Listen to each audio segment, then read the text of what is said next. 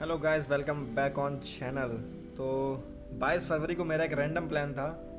था हाँ था ही। रैंडम प्लान फॉर आगरा और जब मैं आगरा पहुँचा I was on the road of Taj Mahal का सेकेंड गेट तो मुझे वहाँ पे दिखता है, मुझे पता तो था कि ट्रंप साहब आ रहे हैं, लेकिन मुझे ये नहीं पता था कि उनकी तैयारी का वीडियो मैं शूट करूँगा। और जब मुझे ये पता चला, और पता कैसे चला मोदी जी और ट्रंप जी के बहुत बड़े बड़े बैनर लगे थे, वहीं से मुझे ये पता चला। तो आई वॉज़ सो एक्साइटेड मैंने पूरा शूट किया, आप ये देखिए।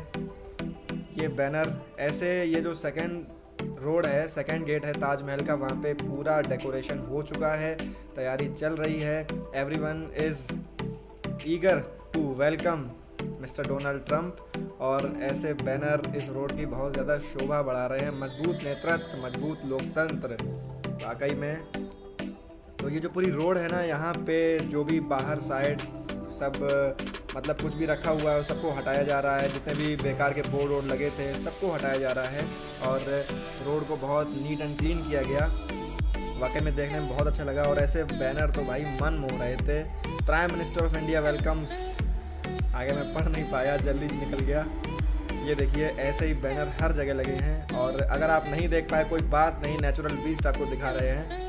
Welcome to the land of democracy Donald Trump ये देखिए ग्रांड वेलकम हो रहा है और यहाँ पे बहुत भारी फोर्स लगी हुई थी। मुझे ये नहीं समझ आ रहा, मैं ट्वेंटी थर्ड को लौटूँगा। ये रोड बंद हो सकती है ट्वेंटी थर्ड को। ये देखिए, पूरा दंगा निरोधक बल पूरा था। भगवान श्री राम की देवभूमि में आपका हार्दिक स्वागत अभिनंदन ये लाइन पढ़ के वाकई बहुत मज़ा आया। Welcome to the holy land of lord Ram जय Shri Ram. Twenty Feb, twenty four Feb. ये देखिए रैपिड एक्शन फोर्स हर जगह एकदम पुताई उताई चल रही है। काफ़ी अच्छा लगा। तो अगर आपको वीडियो अच्छी लगी तो भाई इसको यार सब्सक्राइब करो और शेयर तो बिल्कुल करो, क्योंकि अपनी देश की बात है। अतिथि देवो भव कितनी नमस्ते ट्रंप। ये देखिए, बहुत बढ़िया बढ़िया बैनर लगे हैं। बहुत मज़ा आ गया।